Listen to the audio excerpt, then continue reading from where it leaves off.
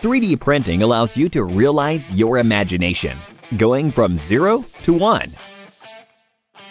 In this video, we're going to demonstrate the use of SnapMaker 2.0 3D printer by printing a vase.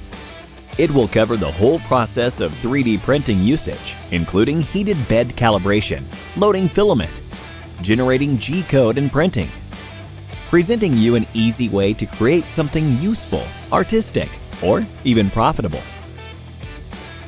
Before starting, you need to make some preparations.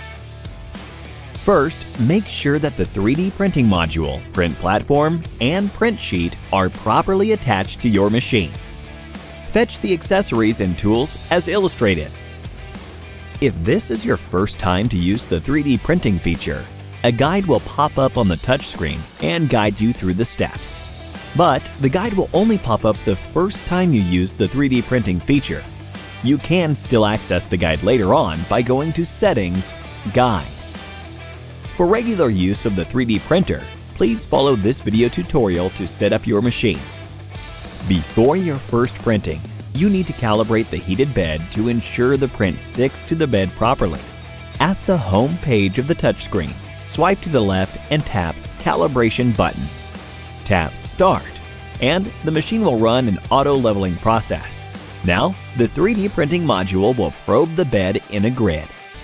When the 3D printing module finally moves to and hovers over the center of the heated bed, set a proper Z offset as instructed. Take out the calibration card A4 paper and place it under the nozzle.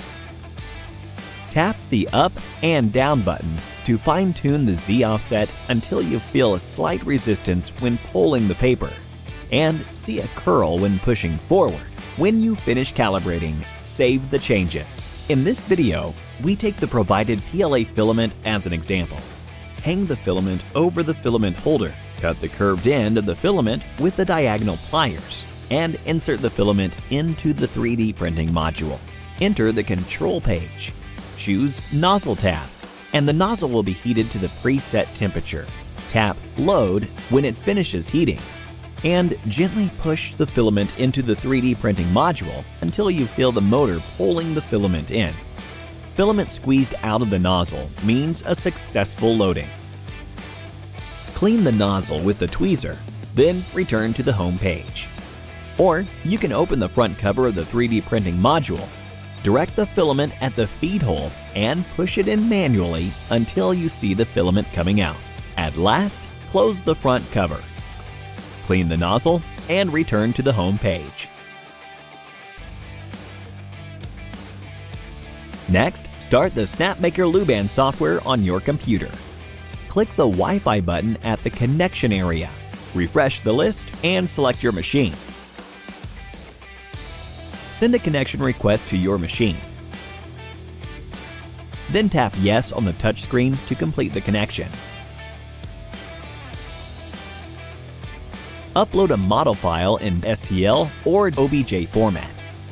You can move, rotate the model, and adjust its position, and choose a printing material to use the default settings, or click the plus button to add and edit a new material profile. For the part of printing settings, three recommended modes are provided.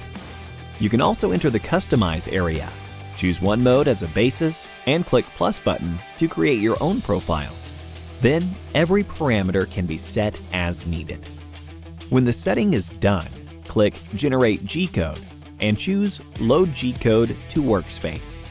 Now, send the G-code file to your machine via Wi-Fi. Tap Yes on the touchscreen to enter the preview page. The printing can also be accomplished with USB disk. Click Export G-code to File and save the file to your USB disk. Insert the disk into the controller select File, and switch to USB tab. Then find and open your G-code file. Now, tap Start to begin your printing as everything is ready. When the printing completes, wait until the temperatures of the nozzle and heated bed drop to the normal level. Finally, detach the print sheet and bend it slightly outward to remove the print. You can also insert the palette knife between the print sheet and the print pry it gently to complete your removement.